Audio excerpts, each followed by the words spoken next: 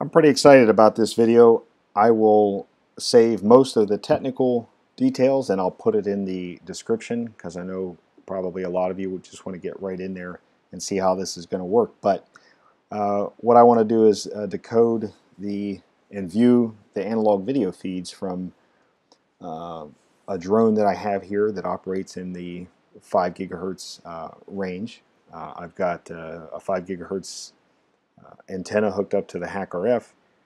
And uh, but before I jump right into it, just kind of the history behind this, uh, I looked all over the internet to find a way to do this.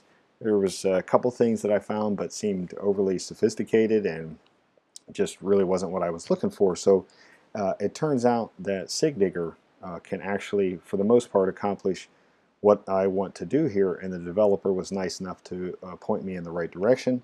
And uh, but I will point out the what I'm going to use to do this wasn't completely designed for this. The symbol view area of SigDigger that I'm going to show you was meant more for uh, displaying symbols and symbol patterns. Um, but due to the behavior, it accidentally shows the contents of uh, analog TV and uh, things like weather faxes. Um, still exciting because uh, maybe in the future, uh, you know, we'll see the developer expand on this capability, um, considering the fact that for the most part it's already there. Uh, so again, the more technical stuff I'll paste in the descriptions uh, um, and you all can uh, read from there. But what you see on the screen right now is uh, it's actually paused right now, but this is what you would see in SigDigger when looking at the, the spectrum with your HackRF uh, if you had the same thing set up. But uh, backing up even further, let's see how we can get there uh, with Dragon OS, which includes SigDigger uh, by default. So if you jump into the user source directory, you're going to see that uh, I left the app image there. If you're more comfortable running this, uh, you know, installed and from source, I have a video on that. But optionally, the you know the SigDigger app image is here and it's as simple as doing what I'm doing on the screen here and you'll start things up. Now if you didn't know what uh, range to even look at, look at, well you probably know it was the 5 gigahertz range but if you wanted to help yourself out here and narrow down quickly this is where this panoramic display will come in. You'll see here I've unchecked marked the full device range. Uh, put 5 gigahertz to 6 gigahertz here so that I can take a look and see where about this uh, drone feed is at. And you can see I got a couple things here in the 5 gigahertz, but uh, this uh, looks really strong right in here. And you can see that's about the 5.724 gigahertz range. So I'm going to go with that. I stop the panoramic spectrum view and I go ahead and click the little uh, settings icon. I come down. I've got the sample rate. I've turned it, cranked it way up. I can see my HackRF is selected. I pretty much maxed out the bandwidth there, 20 megahertz wide, and I'll go ahead and I'm already generally in the range uh, or in the area of what I saw in the panoramic display. So you'll get this uh, warning about the sample rate too high. That's that's fine. I'll just uh, continue on um, and leave it as is and not disseminate it down. But uh, so now you can see I'm viewing the uh, transmission of the analog uh, camera that's uh, nearby me here. Uh, it may look like a little uh, slow motion here, but that's because I'm streaming this over from the laptop. Um, rest assured, if you were seeing the live screen on the desktop, this is actually processing uh, really fast.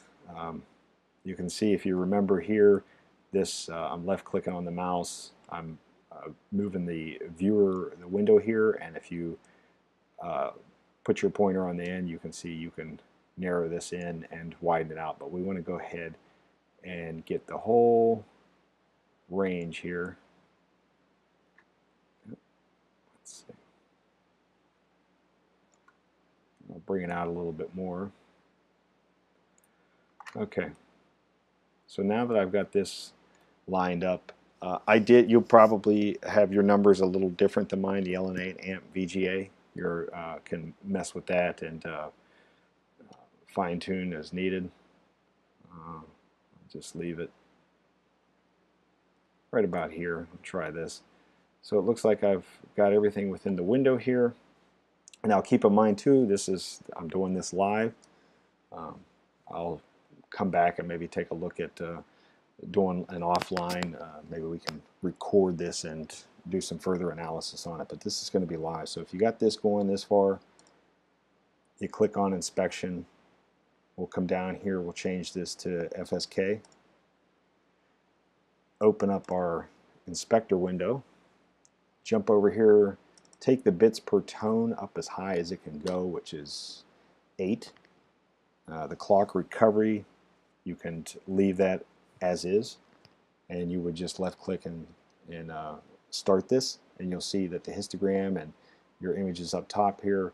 You can drag your mouse, and what you'll do is uh, within this window here, let's say the leftmost hump here to the rightmost hump, if you just left click, actually sorry, right click resets it, but if you left click and hold, and then drag your mouse over.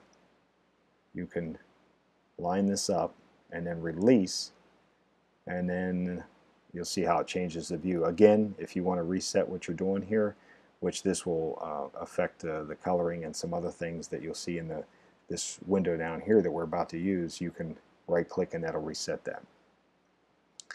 So if we left click and uh, undo this fit to window and then hit record, you'll see what's going to happen here uh, is we can take this width down.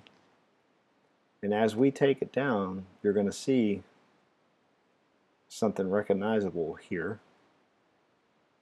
And you just have to mess with it. Now if I didn't already point it out I think I did the uh, there's obviously uh, room for improvement uh, with some features being added in here, one being the ability for the video to sync. So you see we're, we're starting to see something here. And let's let's keep taking it down. Let's let's have this to back down to about the 300 to 400 range. Let's see what we get.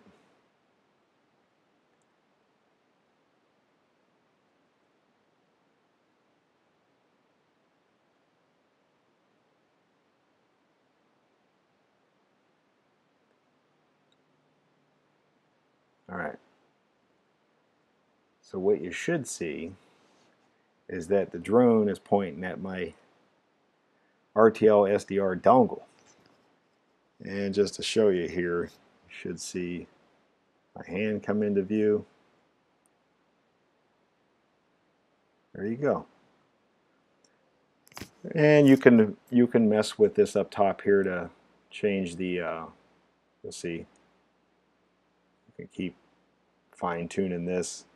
Um, but I don't know. I'm pretty freaking excited. I thought that was uh, awesome. Um, I think there's a lot of value to see some uh, improvement here, especially uh, having those lines being uh, uh, synced and um, you know just the ability to see NTSC and, and decode that there is uh, is going to be, I think, awesome. I, I don't know of any other program in Linux. I mean, if anyone knows, put it in the description. But I found this uh, really handy, and uh, you know, I'm I'm excited to see some additional features added here.